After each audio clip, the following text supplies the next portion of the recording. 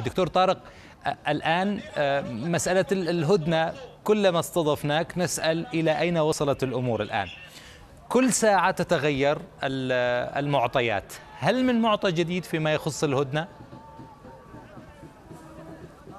هو بالتأكيد طبعا الجهود متواصلة وربما ستكون خلال الساعات المقبلة استئناف للاتصالات. الاتصالات لم تتوقف حضرتك في هذا الإطار وهناك تواصل ما بين القاهرة وبين تل أبيب بالإضافة طبعا إلى حركة حماس. أعتقد أنه يعني كل ما نشاهده في جزء منه طبعا مرتبط بمحاولة الضغط على حكومة نتنياهو لكن أعتقد الأمور تمضي في طريق آخر مختلف تماما عما يجري. لن تكون هناك عملية في رفح خلال الفترة المقبلة وأعتقد أنه لن تكون في شهر رمضان.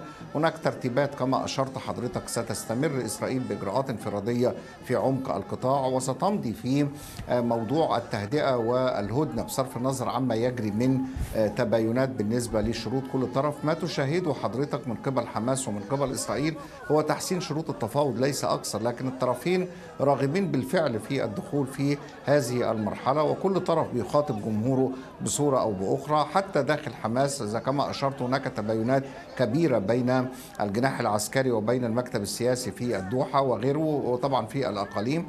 لكن بالنسبة للحكومة الإسرائيلية أنا أعتقد أنه القضية ليست في منح فريق المفوضين يعني صلاحيات أكبر التفويض تم كما تعلم إلى رئيسي الموساد ورئيس الشين بيت شباك في هذا منذ عدة أسابيع. لكن أعتقد أن إسرائيل ستدخل في مفاوضات وسيكون هناك تهدئة جديدة. ربما أعتقد أنها تتزامن مع الأسبوع الأول لشهر رمضان. هذا هو المسار. لكن نحذر من أمرين. الأمر الأول هو دخول الولايات المتحدة على الخط ومحاولة ل يعني الضغط على إسرائيل والضغط على حركة حماس في نفس التوقيت. ربما دور معوق. يعني التحركات الأمريكية تحركات مريبة وتحركات تحتاج إلى مراجعة وتحتاج إلى تدقيق في طرحها.